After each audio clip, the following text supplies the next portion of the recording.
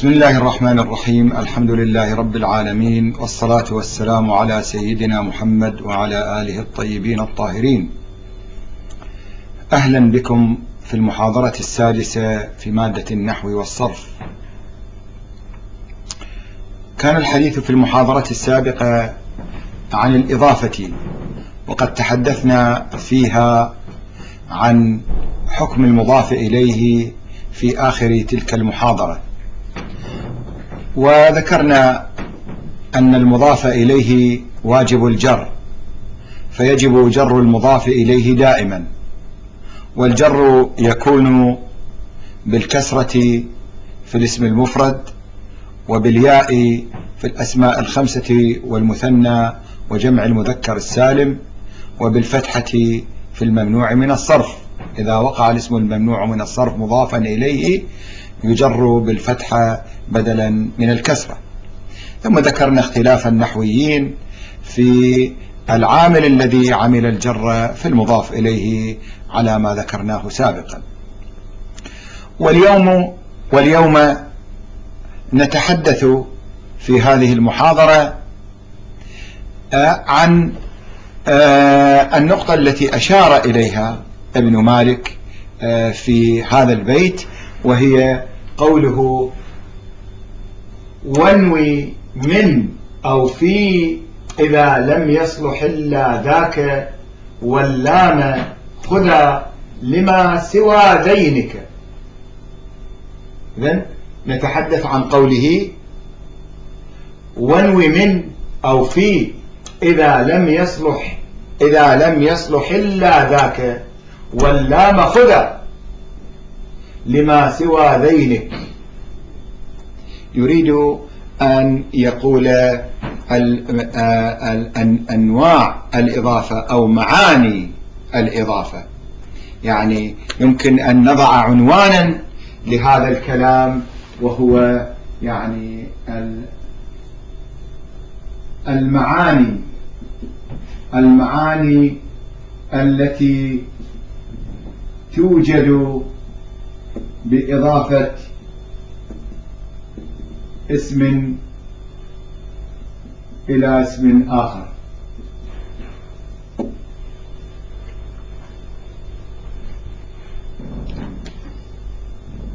هذه المعاني توجد بسبب العلاقة بين المضاف والمضاف إليه أو تحدث بسبب العلاقة بين المضاف والمضاف إليه. فإذا يعني المعاني هذه معاني الإضافة. الإضافة قد تأتي بمعنى لام الملك لام الملكية. كما هو الحال إذا قلت مثلا يعني آه عندما نقول هذا بيت محمد هذا بيت محمد. الإضافة هنا وهي إضافة بيت إلى محمد هي إضافة بمعنى لام الملكية. نكتب هنا الإضافة بمعنى لام الملكية لأنها بمعنى بمعنى بيت لمحمد. هذا معناه بيت لمحمد. أي البيت في ملكية محمد أو مملوك لمحمد فهو بيت مملوك لمحمد أو في ملكية محمد. فإذا قلنا ذلك كانت الإضافة هنا بمعنى لام الملكية. ومثل ذلك كثير في الكلام مثل ذلك كثير في كلام العرب. يعني عندما يعني آه نقول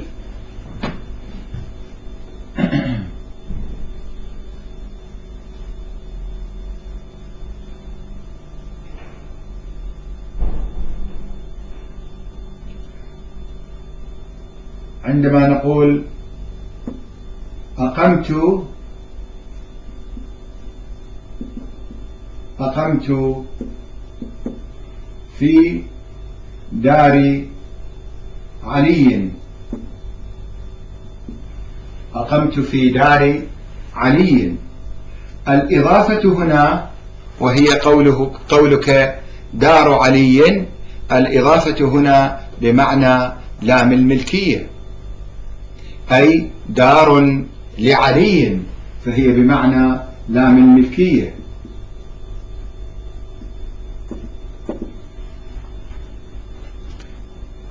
وقد تكون الإضافة بمعنى لام الاختصاص. لام الاختصاص وليست الملكية. كما إذا قلت هذا كتاب الكلية. مثلا هذا كتاب الكلية. فالإضافة في قولك كتاب الكلية هي إضافة بمعنى كتاب للكلية أي يخص الكلية. فهي بمعنى كتاب للكلية. فإذا هنا آه، الإضافة بمعنى لام الاختصاص. بمعنى لام الاختصاص. وتقول لو قلت هنا قبلت يد والدي. قبلت يد والدي. الإضافة إضافة يد إلى والدي. هذه الإضافة بمعنى لام الاختصاص. لأنها بمعنى يد لوالدي أي تخص والدي. يد لوالدي أي تخص والدي. فالإضافة هنا بمعنى لام الاختصاص. فإذا الإيجاد العلاقة بين اسم واسم آخر على نحو المضاف والمضاف إليه. هذه العلاقة يعني إما أن تكون بمعنى لام الملك أو تكون بمعنى لام الاختصاص أو تكون بمعنى في. قد تكون بمعنى في. كما يعني آه، آه، لو قلت لو قلت الحسين الحسين عليه السلام شهيد كربلاء. الحسين عليه السلام شهيد كربلاء. فشهيد كربلاء هذه إضافة لأننا أضفنا كلمة شهيد إلى كربلاء.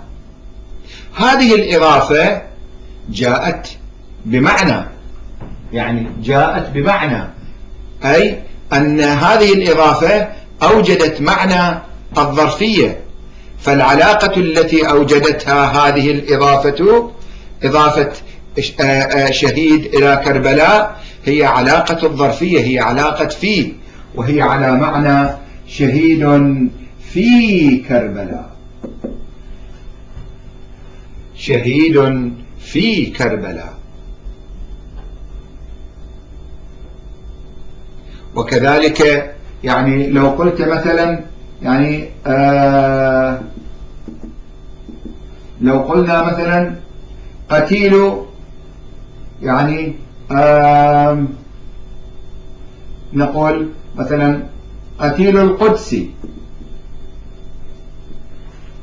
قتيل القدسي. تقول مثلا فلان قتيل القدسي. يعني بمعنى فلان قتيل في القدس. فهذه هنا الإضافة بمعنى في. الإضافة بمعنى في وفي تفيد الظرفية هنا. وقوله تعالى بل مكر الليل والنهار بل مكر الليل والنهار. فإضافة مكر إلى الليل هنا إضافة مكر إلى الليل إضافة بمعنى في فالمعنى الذي الذي أوجدته هذه الإضافة هو معنى الظرفية. مكر في الليل بمعنى مكر في الليل وفي النهار. وقد تكون الإضافة بمعنى من. الإضافة أحيانا تكون بمعنى من. كقولنا كقولنا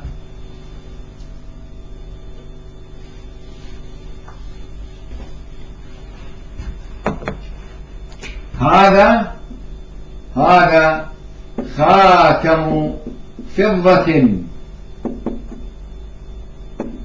هذا خاتم فضة فإيجاد العلاقة بين خاتم وبين الفضة على معنى من أي خاتم من فضة من فضة. خاتم من فضة. وكذلك لو قلت يعني آه يعني هذا ثوب حرير. أو لبست ثوب خز أو لبست بدلة صوف كلها على معنى من أي من حرير ثوب حرير يعني من حرير. فالإضافة هنا على معنى من. وبذلك نستطيع أن نقول أنواع أنواع الإضافة أو أنواع الإضافة من حيث المعنى الذي توجده هذه الإضافة. يعني أنواع الإضافة من حيث المعنى الذي توجده هذه الإضافة هي إضافة بمعنى لام الملك أو لام الملكية وإضافة بمعنى لام الاختصاص وإضافة بمعنى في وإضافة بمعنى من. هذه أنواع الإضافة من حيث المعنى الذي توجده هذه الإضافة. وإلى ذلك أشار ابن مالك بقوله ونوي عندما يريد أن يقول ونوي من أو في إذا لم يصلح إلا ذاك إذا لم يصلح إلا من وفي. واللام خذا لما سوى دينك يعني لما سوى من وفي خذ اللام آه، على آه، آه، على أساس أنها لام الاختصاص على أساس أنها لام الاختصاص أو لام الملك. فاللام إما أن تكون للملكية أو لا أو تكون للاختصاص. ثم بعد ذلك انتقل ابن مالك في قوله واخصص أولا أو أعطه التعريف بالذي تلا. واخصص أولا أو أعطه التعريف بالذي تلا نستطيع أن نضع عنوانا لهذا الكلام وهو أنواع الإضافة. يعني أنواع الإضافة. يمكن أن نضع عنوانا لهذا الكلام وهو أنواع الإضافة.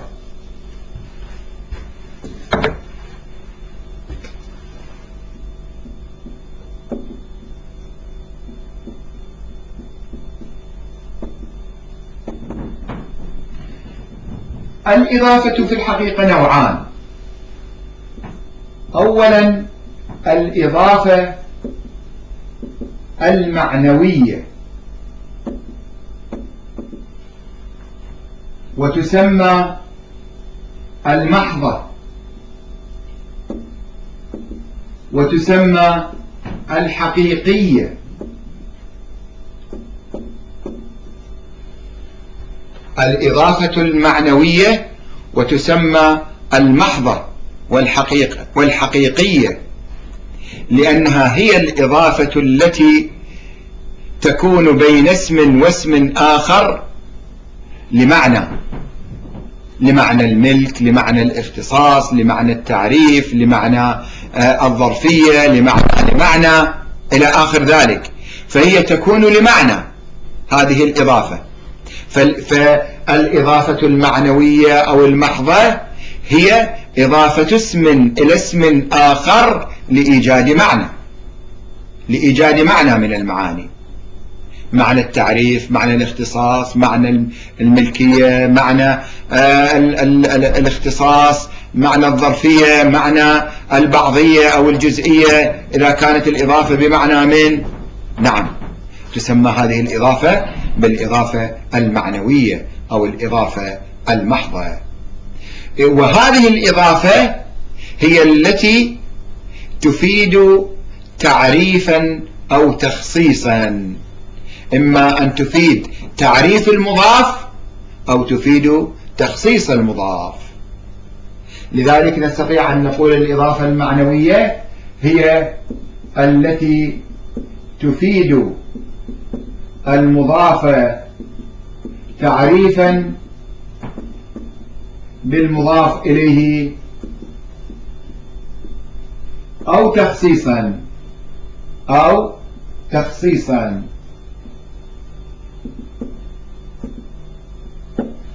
وهذا هو المعنى الذي قصده ابن مالك في ألفيته عندما يقول واخصص أولا واخصص أولا يعني يريد أن يقول الإضافة المعنوية أو الإضافة اللفظية عفوا الإضافة المعنوية أو المحضة أو الحقيقية هي التي تفيد التخصيص. واخصص أولا يعني تفيد التخصيص. أو أعطه التعريف بالذي تلا. أو تفيد تعريف المضاف بالمضاف إليه. فإذا الإضافة المعنوية أو المحضة أو الحقيقية هي التي تفيد المضافة إما تعريفا بالمضاف إليه وإما تخصيصا. و آه، نحن نقول هذه الإضافة إما أن تكون بمعنى لام الاختصاص أو بمعنى لام المل لام الملك أو بمعنى لام آه، آه، أو بمعنى في أو بمعنى من. النوع الثاني من أنواع الإضافة وهو الإضافة اللفظية. هذا الإضافة الأولى. الإضافة كقولك مثلا يعني كتاب محمد. كتاب محمد. فقولك كتاب نكرة. إذا أضفته إلى معرفة اكتسبت تعريف فأفادت الإضافة هنا تعريف المضاف وهو كتاب بالمضاف إليه فأصبحت فأصبح كلمة كتاب أصبحت معرفة. والتخصيص كقولك مثلا كتاب طالب. كتاب طالب. فإذا أضفت النكرة إلى النكرة أفادت هذه الإضافة تخصيصا إذا أضفت كتاب إلى طالب أفادت هذه الإضافة تخصيصا لأنك تريد أن, أن تقول تخصص كتاب بأنه لطالب وليس لطالبة. يعني كأنما كلمة كتاب نكرة ودائرة النكرة قد ضاقت بالإضافة إلى طالب إيه، لأنه لأن عندما تقول كتاب يخص كل إنسان. سواء كان ذكرا أو أنثى. فإذا قلت كتاب طالبة تخصصت دائرة الإضافة. دائرة الإضافة إذا كانت واسعة تكون تكون أقل اتساعا لأنك قد خصصت كتاب بكونه كتاب لطالب وليس لطالبة. هذه الإضافة المحضة أو الحقيقية أو المعنوية كقولك كتاب محمد أو كتاب طالب أو قلم علي أو بيت زيد أو آه، إلى آخر ذلك. يعني من من إضافة الأسماء إلى الأسماء الأخرى فإما أن تفيد تعريفا وإما أن تفيد تخصيصا. النوع الثاني من أنواع الإضافة وهو الإضافة اللفظية. الإضافة اللفظية. هذا النوع الثاني من أنواع الإضافة. هذه الإضافة مجرد في اللفظ مضاف ومضاف إليه. يعني فقط في اللفظ أنك تضيف اسما إلى اسم آخر من غير أن تفيد هذه الإضافة تعريفا ولا تخصيصا. يعني لا تفيد تعريفا ولا تفيد تخصيصا. إذا نقول الإضافة اللفظية هي التي هي التي لا تفيد المضاف تعريفا ولا تخصيصا. ولا تخصيصا. وإنما وإنما يعني إيجاد وإنما تكون وإنما تكون لإيجاد لإيجاد علاقة بين اسمين تكون لإيجاد علاقة بين اسمين آه لأدنى لأدنى ملابسة. لأدنى ملابسة بين هذين الاسمين. وقد تفيد أحيانا وقد تفيد أحيانا التخفيف التخفيف.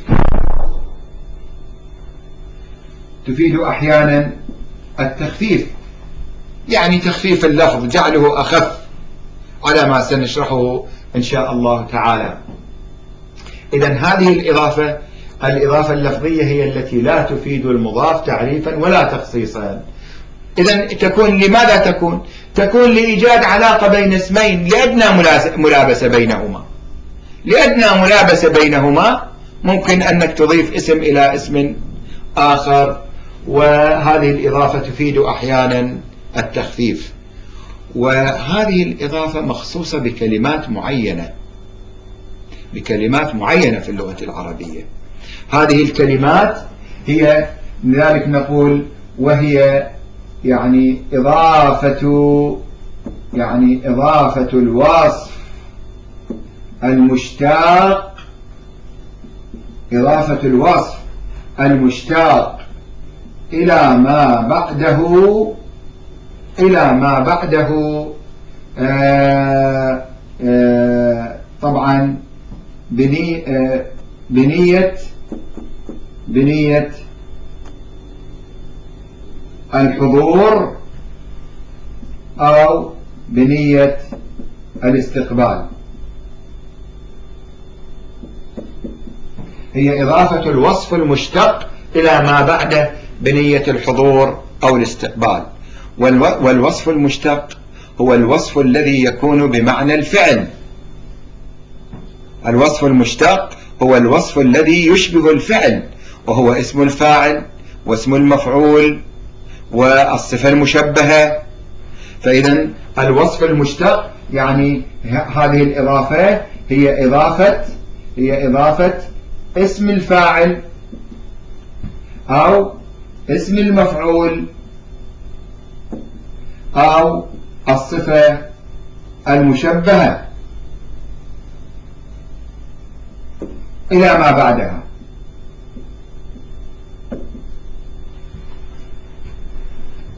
ولذلك هنا يقول ابن, هشا ابن, ابن مالك يقول وإن يشابه المضاف يفعل وصفا فعن تنكيره لا يعدل.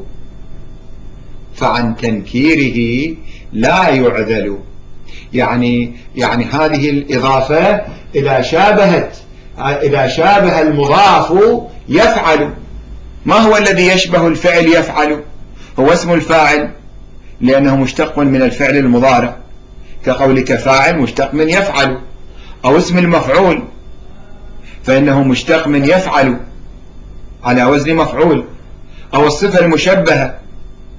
فإنها أيضا مشتقة من الفعل اللازم من الفعل المضارع اللازم.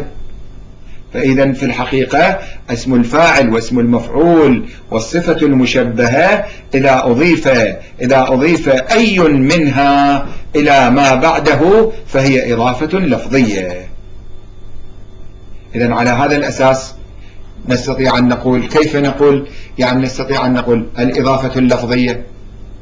ما هي الإضافة اللفظية؟ نعم هي إضافة اسم الفاعل أو اسم المفعول أو الصفة المشبهة إلى ما بعدها. وهذه الإضافة لا تفيد تعريفا أبدا بل بل إنها تكون تكون قد, قد تكون صفة للنكرات.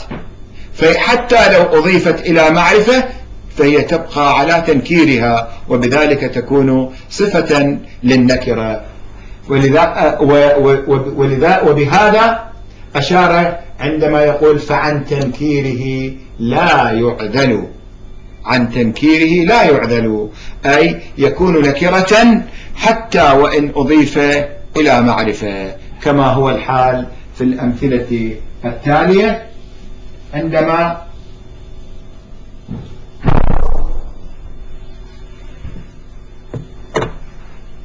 عندما نقول مثلا يعني يعني كلمة ضارب وضارب اسم فاعل.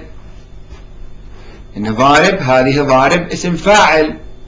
فإذا أردت أن تضيف اسم الفاعل إلى إلى محمد يعني إلى محمد. فإذا قلت يعني مثلا زيد ضارب محمد. إذا قلت زيد ضارب محمد. الإضافة ضارب محمد بإضافة ضارب وهو اسم فاعل وصف مشتق من الفعل إلى محمد هذه إضافة معنوية.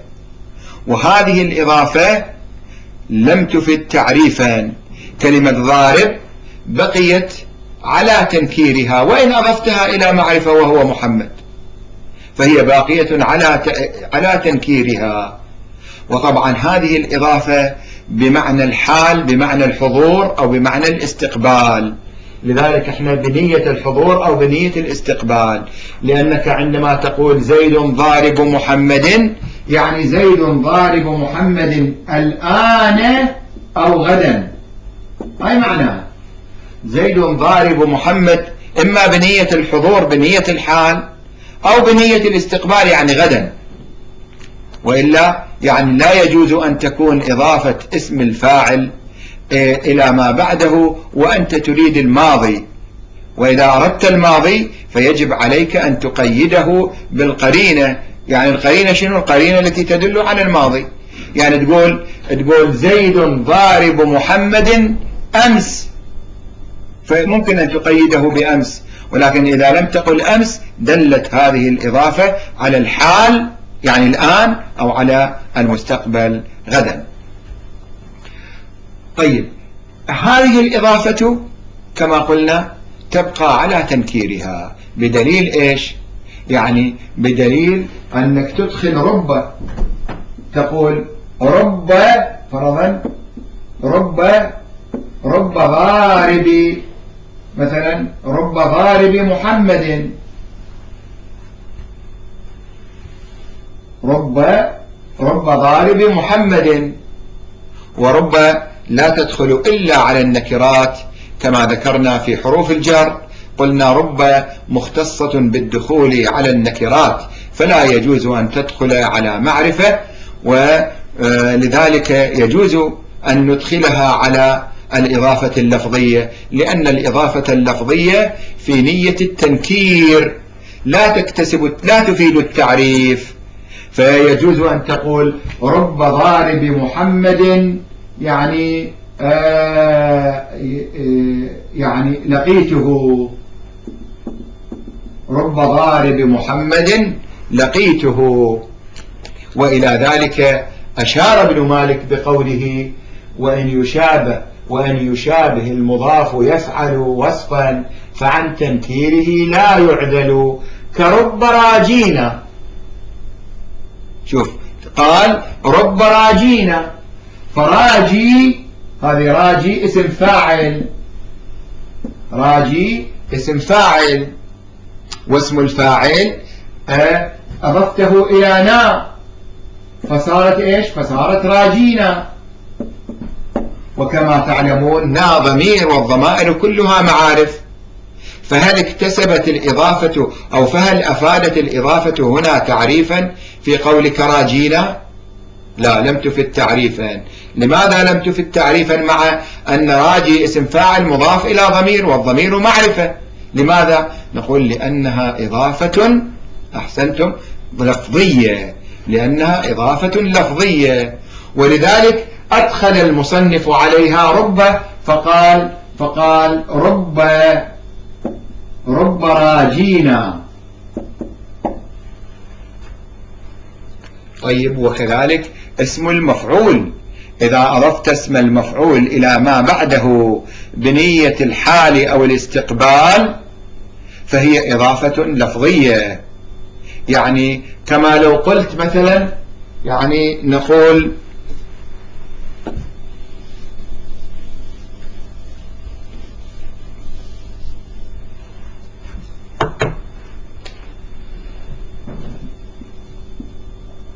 نقول مضروب الرأس. مضروب الرأس. أو, أو نقول يعني آه مروع القلب. مروع القلب. مضروب الرأس. مروع القلب. فهذه إضافة لفظية لأنك أضفت اسم المفعول المشتق من الفعل إلى ما بعده. فقلت مضروب الرأس مروع القلب. فإذا قلت مثلا يعني آآ آآ رأيت رأيت يعني رجلا مضروب الرأس. رأيت رجلا مضروب الرأس. فمضروب الرأس هذه إضافة لفظية. لأنها لأنها من إضافة اسم المفعول إلى ما بعده وهي على معنى الحال أو بنية الحال أو الاستقبال. رأيت رجلا مضروب الرأس يعني آآ آآ عفوا رأيت رجلا يجب أن نقول يعني يعني يجب أن نقول أرى رجلا أرى رجلا مضروب الرأس يعني بنية الحال أو بنية الاستقبال يعني بنية أرى رجلا مضروب الرأس الآن الآن. أما إذا قلنا رأيت رجلا مضروب الرأس فالإضافة هنا يعني إضافة اسم الفاعل اسم المفعول إلى ما بعده وهي إضافة لفظية ولكن القرينة هنا هي رأيت بالماضي. والإضافة اللفظية كما يعني يذكرها النحويون يقيدونها بمعنى الحال أو الاستقبال. فإذا خرجت عن الاستقبال أو, أو, أو الحال فهي مجرد إضافة وأيضا لا تفيد تعريفا ولا تفيد تخصيصا ولكن ولكن إذا كانت بمعنى المضي فعندئذ تكون عاملة فيما بعدها أي تعمل فيما بعدها. يعني رأيت رجلا مضروبا رأسه تكون عاملة لا, لا يعني لا تكون مضاف ومضاف إليه. على كل حال فمضروب الرأس هنا صفة لرجل ورجل نكرة. إذا مضروب الرأس لم تستفد تعريفا ولا آه، لم تستفد لم تستفد تعريفا ولا تخصيصا أو لم تفد تعريفا ولا تخصيصا. آه، بعد من الإضافة من الإضافة اللفظية إضافة الصفة المشبهة إلى ما بعدها. الصفة المشبهة يعني الصفة المشبهة كقولك يعني آه، حسن الوجه. حسن الوجه. عظيم الأمل. عظيم الأمل. قليل الحيل.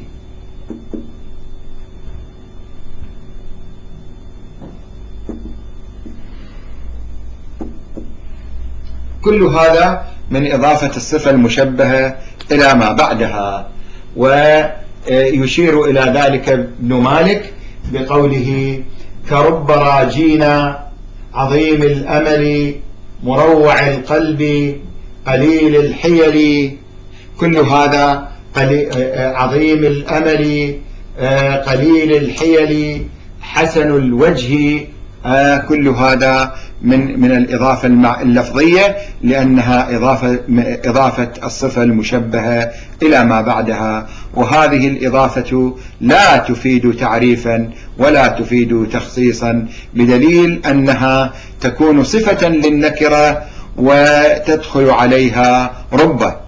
يعني تدخل عليها ربة كما لو قلت يعني آه هذا رجل حسن الوجه. هذا رجل حسن الوجه. ويعني نقول رب رب عظيم الأمل. رب عظيم الأمل. خاب أمله. رب عظيم الأمل خاب أمله. فأدخلت هنا رب على عظيم الأمل ورب لا تدخل إلا على النكرات. طيب إذا هذه الإضافة قلنا قد تفيد تخفيفا أحيانا. كيف تفيد تخفيفا؟ لأن هذه الإضافة في الأصل يعني هذه الإضافة في الأصل هي على أساس أن المضاف يعمل في المضاف إليه لأنه شبيه بالفعل. فإذا مثلا قلت يعني ضارب محمد الأصل فيها أن يكون كلمة ضارب أن تكون عاملة في محمد لأن ضارب تشبه الفعل. لو قلت مثلا زيد ضارب محمد كأنك أردت أن تقول زيد يضرب محمدا. فاشتققنا من يضرب اشتققنا الاسم الفاعل ضارب. فنقول عندئذ زيد ضارب محمدا. زيد ضارب محمدا. هذا هو الأصل. الأصل أن يكون اسم الفاعل عاملا فيما بعده. زيد ضارب محمدا. فضارب هنا خبر مرفوع ومحمدا مفعول به لضارب منصوب. وتلاحظ هنا أن كلمة ضارب فيها تنوين. والتنوين هنا في عندما نقول زيد ضارب محمدا نجد فيه ثقل في اللفظ. شوية ثقيل هذا اللفظ. ثقل في اللفظ. زيد ضارب محمد. فإذا أردنا أن نخفف اللفظ ونجعله سهلا في النطق سهلا جاريا يعني جاريا بسهولة على اللسان فنحذف التنوين ونضيف ضارب إلى محمد ونقول زيد ضارب محمد. فضارب محمد أخف على في النطق من ضارب محمدا فهذه الإضافة نعم قد تفيد التخفيف ولكنها لا تفيد التعريف ولا تفيد التخصيص. و آه، آه، يعني وردت هذه الإضافة كثيرا في القرآن الكريم ومن ذلك قوله تعالى هديا بالغ الكعبة. هديا بالغ الكعبة. نكتب هذه الآية.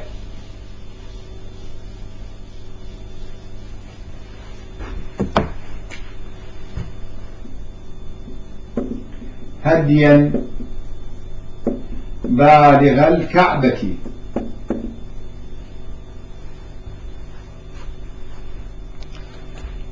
طيب أين الإضافة في هذه الآية؟ أحسنتم بالغ الكعبة. هذه إضافة. ما نوع هذه الإضافة؟ نعم إضافة لفظية. طيب إضافة لفظية من أي نوع من أنواع الإضافة اللفظية؟ هي إضافة اسم الفاعل إلى ما بعده.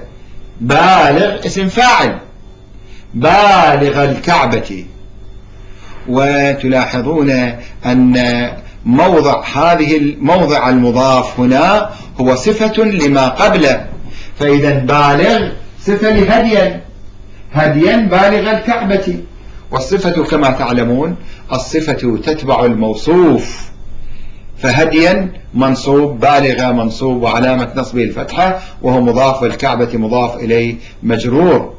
طيب هل أفادت هذه الإضافة تعريفا على اعتبار أن كلمة بالغ أضيفت إلى معرفة وهي الكعبة؟ الكعبة اسم علم معرفة. هل, هل أفادت هذه الإضافة تعريف بالغ؟ لا. لم تفد هذه الإضافة تعريف بالغ بدليل. أحسنتم بدليل كونها صفة لهدي. والصفة تتبع الموصوف يعني في الإعراب وفي التعريف والتنكير. يعني لا يجوز أن تكون الصفة معرفة والموصوف نكرة لا يجوز بل يجب أن يتطابق الصفة والموصوف في التعريف والتنكير. فهذا دليل على أن هذه الإضافة لم تفد تعريفا.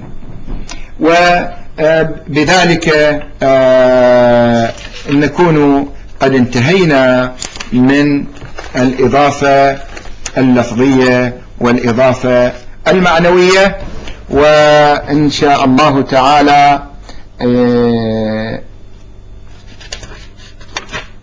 سوف آه، نتكلم في الدرس القادم آه، عن بعض الأمور التي تتعلق بإضافة بالإضافة اللفظية وهي يعني إضافة اسم الفاعل أو اسم المفعول أو الصفة المشبهة المقترنة بالألف واللام.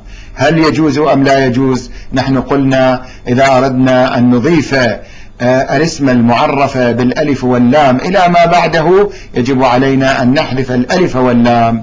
فهل هذا الحكم سار في الإضافة اللفظية أم لا هذا ما سنشرحه إن شاء الله تعالى في المحاضرة القادمة. والحمد لله رب العالمين.